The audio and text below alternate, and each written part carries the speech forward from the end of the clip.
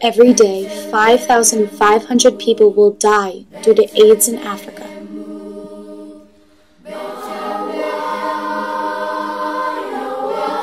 Many of these people will be left with nothing to do and no way to get better.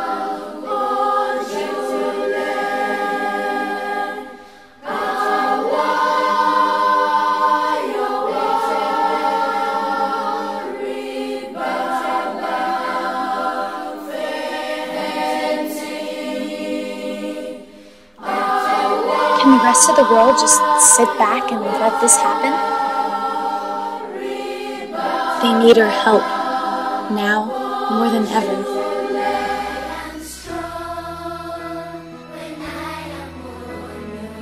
By volunteering to care for HIV and AIDS patients, or even donating money towards antiretroviral treatments, one person can really make a difference towards fighting AIDS.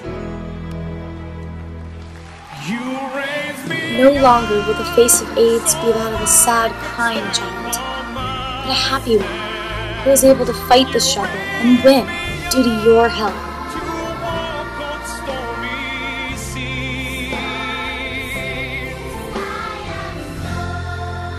Frida, an orphan living in Africa with AIDS, has said, I know AIDS is out there. I have seen and lived with it. If I could speak to the world, I would thank those people that have helped children like me.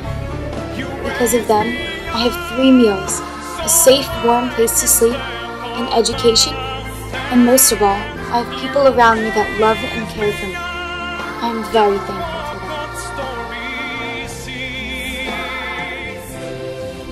Together, we can do anything. So let's fight AIDS today and make a better world for the children of tomorrow. to